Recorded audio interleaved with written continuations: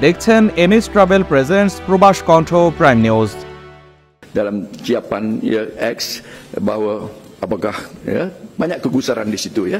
Jadi kita hmm, telah saya jelaskan ya tanpa perlu mengulangi sekatan seperti PKP ya.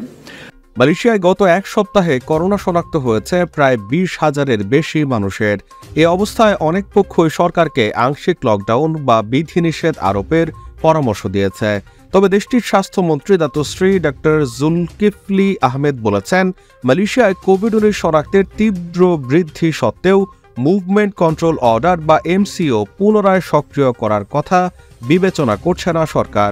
স্বাস্থ্যমন্ত্রী বলেন, দেশটি দু হাজার বিশ সালে শুরু হওয়া কোভিড উনিশ মহামারীর শুরুর দিকে নেয়া পদ্ধতিগুলো আর পুনঃ আরোপ করবে না। তিনি আরও জানিয়েছেন, দেশে কোভিড উনিশ সংক্রমণের সাম্প্রতিক তীব্র বৃদ্ধি মোকাবেলায় স্বাস্থ্য মন্ত্রণালয়, এমসিউর পরিবর্তে আরও পাঁচ দফা কৌশল তৈরি করেছে।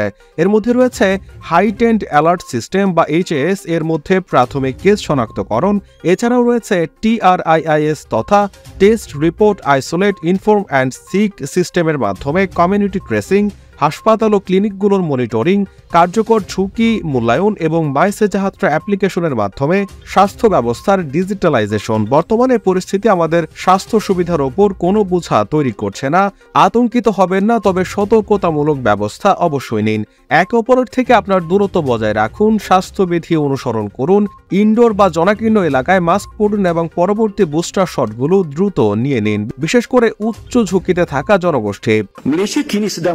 Peningkatan kes COVID-19 yang mendadak. Itu kita akui.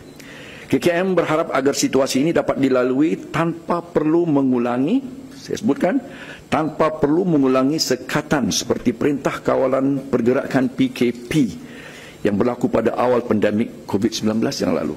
So kita tak bercakap tentang PKP, we rule apa, for the time being kita tidak bercakap tentang mengulangi PKP sebab ada yang bertanya, ada yang sudah bertanya dalam Malaysia প্রবাসীদের জন্য প্রতিদিন দারুণ সব অফারে বিমান ticket দিচ্ছে MH global travels Dhaka Kuala Lumpur Dhaka সহ বিশ্বের যে কোনো গন্তব্যে সুলভ মূল্যে আপনার টিকিটটি পেতে আজই চলে আসুন কে এল মোনোরেল সেন্ট্রাল এর পাশে এনিউ সেন্টার বিল্ডিং এর অপোজিটে অথবা কল করুন স্ক্রিনে দেওয়া নম্বরে।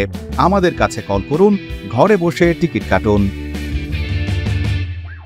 এ সময় স্বাস্থ্যমন্ত্রী আরও জানিয়েছেন, দেশব্যাপী সমস্ত হাসপাতাল এবং ক্লিনিকগুলো যে কোনো পরিস্থিতির জন্য প্রস্তুত রয়েছে। ডক্টর জুলকিফলি বলেন, দশ থেকে ষোলোই ডিসেম্বর পর্যন্ত দেশটিতে বিশ হাজার ছশো ছিয়ানব্বইটি নতুন করোনা শনাক্তের খবর পাওয়া গেছে, যা আগের সপ্তাহের তুলনায় অন্তত বাষট্টি দশমিক দুই শতাংশ বেশি। তিনি জানান, নতুন যে সাতানব্বই শতাংশ সংক্রমণ দেখা গেছে, সেগুলো কম ঝুঁকিপূর্ণ জনগোষ্ঠীর ভেতরেই। এই মুহূর্তে যে আঠাশ জনের মৃত্যুর রেকর্ড করা হয়েছে, একশো একান্ন জন রোগী বর্তমানে আইসিইউতে ভর্তি রয়েছে এবং ছিয়ানব্বই জনের শ্বাস প্রশ্বাসের ক্ষেত্রে ভেন্টিলেটরের প্রয়োজন দেখা দেয়। তিনি বলেন, বেশিরভাগ মৃত্যুই ঘটেছে ষাট বছরের বেশি বয়সী রোগীর ক্ষেত্রে, যার শতাংশের হিসাবে পঁচাশি শতাংশ।